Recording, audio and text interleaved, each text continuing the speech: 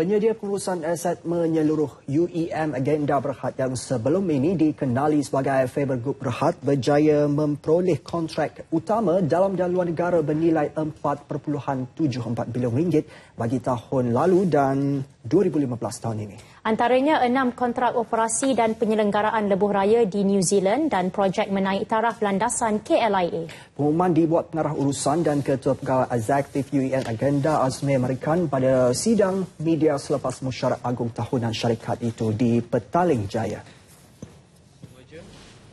I'll talk about it. Uh, uh, we spend a lot of time in crafting uh, what uh, what uh, the other interesting ones to update are the uh, uh, we've got a project in uh, Saudi Arabia, uh, first of its kind, uh, for a five-year asset management project for the uh, Com- Royal Commission of Jubail. Yeah. So those are some.